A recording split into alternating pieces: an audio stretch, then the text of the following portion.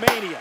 In that style match, a, a battle royal type match, you know, Nia Tag. Jax is going to be. Are you gonna tag? Uh, uh, uh, uh. Are you gonna Sasha tag? Come on, Sasha Banks. Separation. My girl. Ooh. Beautiful.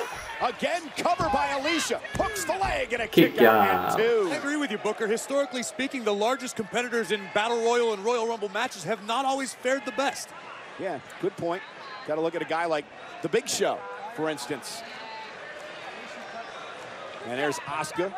Again, many people's favorite to win the matchup come Sunday. Nia Jax as well. They had quite the competitive battle last week before Nia was injured. Oh, and Alicia Fox, handful of hair.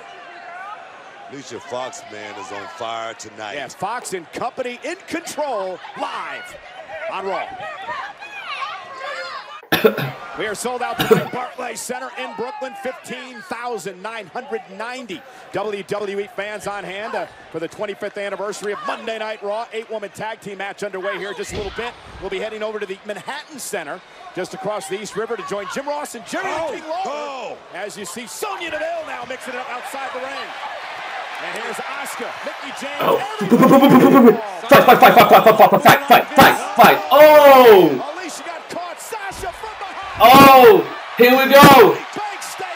Big statement. Tap out, tap out. She's tapping out.